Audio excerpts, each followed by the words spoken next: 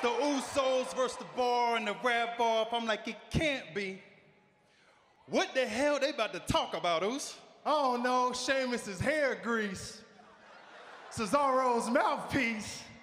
Really, we just gonna have to wait and see. Hey, you know the last battle we had, we got cheated. Yeah, felt defeated, Try to erase it from my past, like my man Matt Hardy say. deleted. This battle, we ready. We done already beat the Ninja Turtles. Mm-hmm.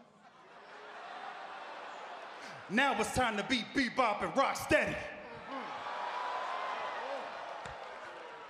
Fella! Oh yeah, Mr. Movie Star.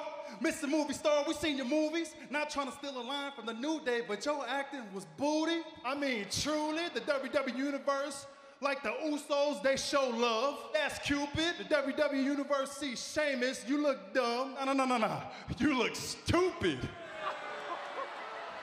Hey, Sheamus, is it true that you purposely stay out the sun so your skin can be white like chalk? Hey, do you call Cesaro over in the morning to help you grease your mohawk?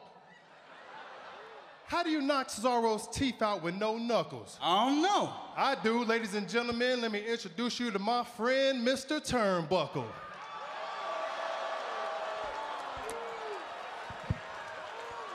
Hey, Mr. Turnbuckle, Mr. Turnbuckle.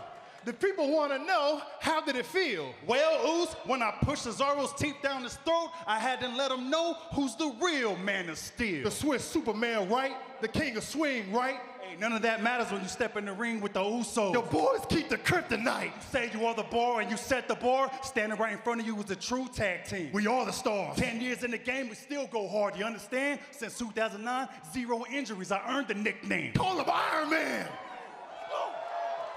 Six-time champs are coming soon, believe me. New Day, The Bar, Sunday, TLC.